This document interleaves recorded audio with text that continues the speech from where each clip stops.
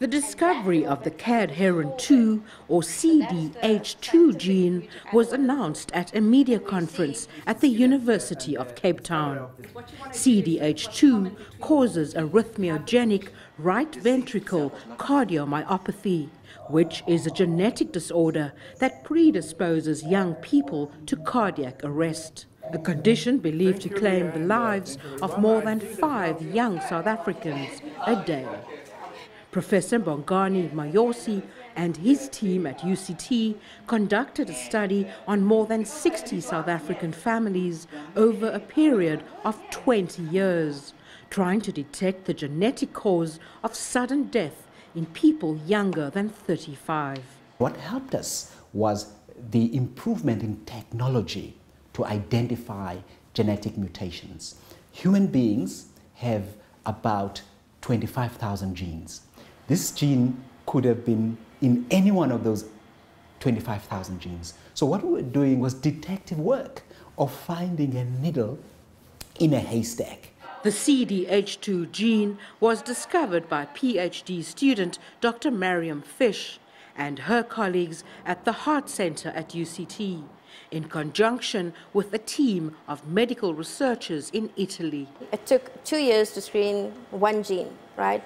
With this new technology and the help of the Italians, we were able to screen thousands of genes within a matter of hours. And that's where our team came in. One of our team members was Mariam, doing a PhD at the time.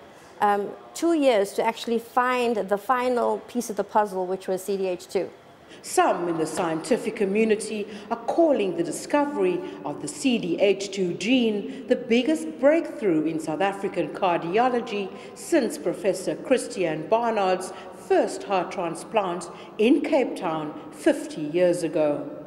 They say this knowledge has the potential to save the lives of many young people who suffer from heart muscle disease.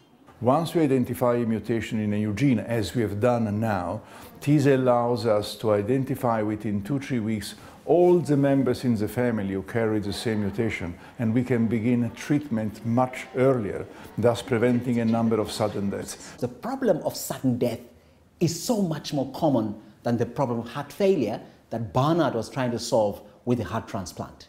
So the significance of it for the population is huge, and in terms of preventing any loss of life in large numbers of people.